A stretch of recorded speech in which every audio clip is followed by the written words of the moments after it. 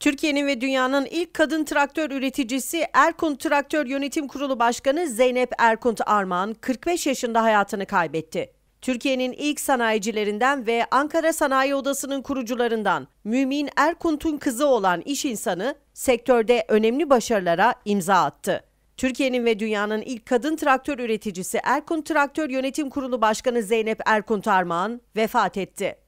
Armağan'ın cenazesi yarın Gölbaşı Mezarlığı Camii'ndeki cenaze namazının ardından Gölbaşı Mezarlığı'nda defnedilecek. Erkunt Traktör Yönetim Kurulu Başkanı Zeynep Erkunt Armağan, dünyada şirketini en hızlı büyüten 50 kadın CEO araştırmasında üçüncü kez listeye giren tek Türk sanayici olmuştu. Zeynep Erkunt Armağan, 5 Temmuz 2022 tarihinde hayatını kaybetti.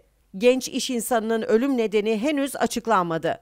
Sanayici, iş kadını, Erkunt Traktör Yönetim Kurulu Başkanı, sanayici bir babanın kızı olan Zeynep Erkunt, 1978 yılında Ankara Koleji'nden, 1982 yılında da Hacettepe Üniversitesi İktisat Bölümünden mezun oldu. Erkunt Traktör Sanayi AŞ'nin genel müdürü ve yönetim kurulu başkan yardımcısı olarak görev yapıyordu.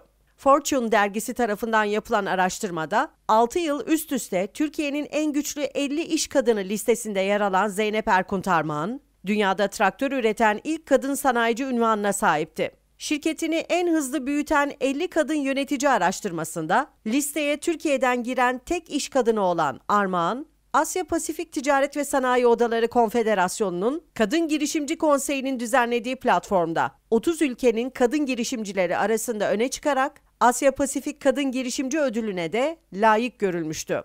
Sosyal sorumluluk çalışmalarıyla da başarı ödüllerine layık görülen başarılı iş insanı, Türkiye'nin çeşitli illerinde yaptırdığı ve Erkun Traktör'ün adını taşıyan 12 İlköğretim Okulu'yla Ankara Sincan Organize Sanayi Bölgesi'nde babası Mümin Erkunt tarafından yaptırılan Erkunt Meslek Edindirme Merkezi'nin idamesini üstlendi. Evli ve iki çocuk annesi olan Zeynep Erkunt Armağan, Türkiye'nin ilk sanayicilerinden ve Ankara Sanayi Odası'nın kurucularından Mümin Erkunt'un kızıdır.